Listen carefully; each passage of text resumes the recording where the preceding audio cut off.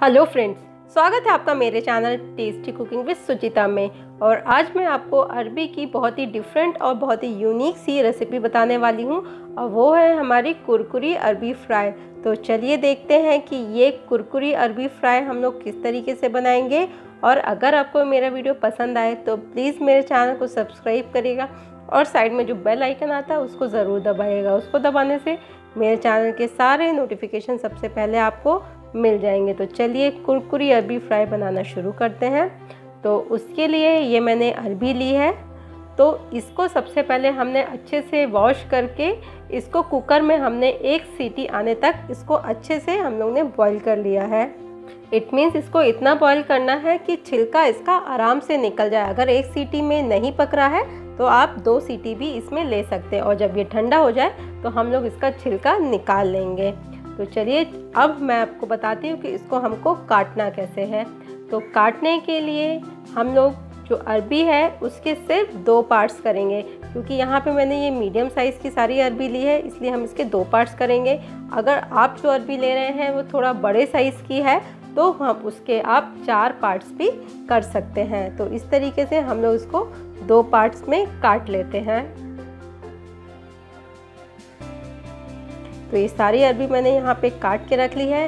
अब मैं बताती हूँ कि इसमें हम लोग और क्या क्या चीज़ यूज़ करेंगे। ये अदरक ग्रेट किया हुआ है थोड़ी सी हरी मिर्च ली है और इसमें हम लोग कुछ मसाले डालेंगे। तो उसमें मैंने लिया है धनिया पाउडर। धनिया पाउडर थोड़ा सा ज़्यादा क्वांटिटी में लेंगे और उसके साथ ही लिया है थोड़ा सा गरम मसाला थोड़ा सा ज़ीरा पाउडर और थोड़ी सी अमचूर पाउडर। और इसके साथ ही हम लेंगे थोड़ा सा हल्दी पाउडर और कश्मीरी लाल मिर्च। तो ये हो गए हमारे मसाले। तो ये मसाले तैयार हो गए और बाकी की सारी प्रिपरेशन भी हो चुकी है। तो अब कुरकुरी अरबी बनाना शुरू करते हैं। तो उसके लिए सबसे पहले एक कढ़ाई में हम लोग डालेंगे थोड़ा सा तेल। तेल थोड़ा सा ज़्यादा क्वांटिटी में डालेंगे क्योंकि यहाँ पे अरबी को हमको बिल्कुल क्रिस्प करना है। तो जब तेल हमारा अच्छे से गर्म हो जाएगा, तब हम लोग जो सारी अरबी हम लोग ने काट के रखी है, उसको हम लोग इसमें डाल देते हैं। अब इसको हम लोग अच्छे से मिक्स करते हैं और यहाँ पे हम लोग इसको मीडियम फ्लेम पर इसको हम लोग लाइट ब्राउन होने तक इसको हम लोग इसी तरीके से बीच बीच में चलाते रहेंगे। देखिए, इस तरीके से हमको अरबी को क्रिस्प करना है। तो ये अरबी अब क्रिस्प हो गई है। अब इसको हम लोग निकाल लेते हैं।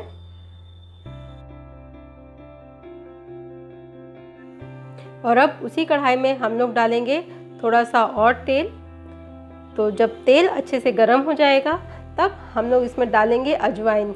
अजवाइन का टेस्ट अरबी में बहुत ही ज़्यादा अच्छा लगता है, इसलिए अजवाइन ज़रूर डालिएगा और थोड़ा सा हम लोग डालेंगे हींग। और जब अजवाइन और हींग अच्छे से भुन जाएगा, तब हम लोग इसमें डालेंगे अदरक और हरी मिर्च। अदरक का यहाँ मैंने पेस्ट इस्तेमाल नहीं किया है, अदरक को मैंने थोड़ा सा ग्रेट कर लिया है। जब ये सारी चीज़ें आपस में अच्छे से हो जाएँगी, तब हम लोग जो मसाले मिला के रखे हैं उसको अब हम लोग इसमें डाल देते हैं और इसमें हम लोग डालेंगे थोड़ा सा पानी ताकि जो मसाले हैं अच्छे से भुन जाए, जले नहीं। तो अब इसको हम लोग अच्छे से चलाते हुए मसालों को अच्छे से भून लेते हैं। तो अब देख रहे हैं कि सारी चीज़ें अच्छे से भुन गई हैं। अब इसमें हम लोग अरबी डाल देते हैं और इसके साथ ही अब हम लोग इसमें डालेंगे नमक। नमक हम लोग ने ना ही मसाले में डाला है, ना ही अरबी में डाला है तो हम लोग नमक उसी हिसाब से इसमें डालेंगे। और इसको अब हम लोग अच्छे से मिक्स कर लेते हैं। तो है ना ये बहुत ही ज़्यादा मज़ेदार अरबी की सब्ज़ी। तो ये अच्छे से मिक्स हो गई है। अब हम लोग इसमें डालेंगे हरी मिर्च। हरी मिर्च को बीच में से मैंने बस स्लिट कर दिया है और इसको मैंने इसमें डाल दिया है।